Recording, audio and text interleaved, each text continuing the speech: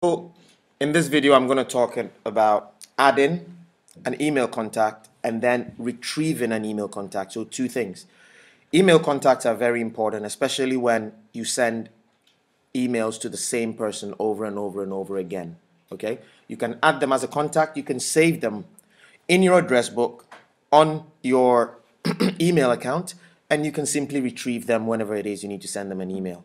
Okay, it's it's it, it works on the same principle as your mobile phone. You know, your best friend that you talk to all the time.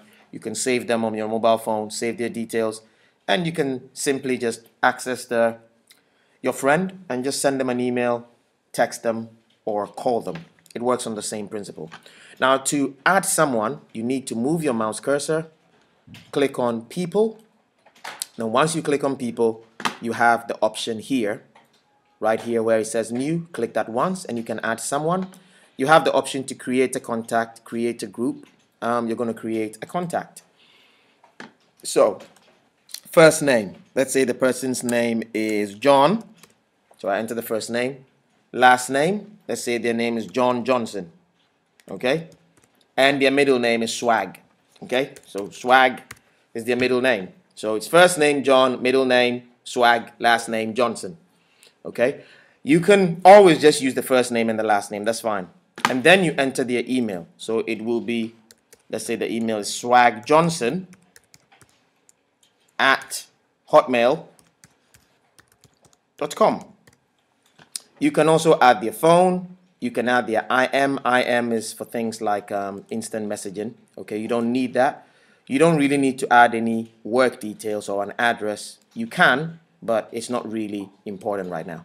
So make sure you've got just got their first name and their last name and you've got their email and simply enter it and click on save. and then once you click on save, it's been saved, okay? It's done.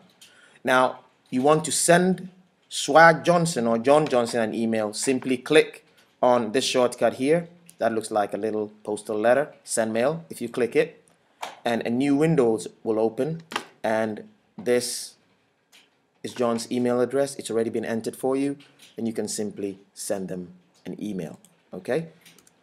Or you can click on this plus sign here and your address book will open and simply click on John okay and then click on OK and that's done it's added again so that is how you add a contact and you retrieve or send an email to a contact. This is very important, like I said, when you send emails to a particular person all the time. It saves you the time of having to um, type in their email address every time you send them an email.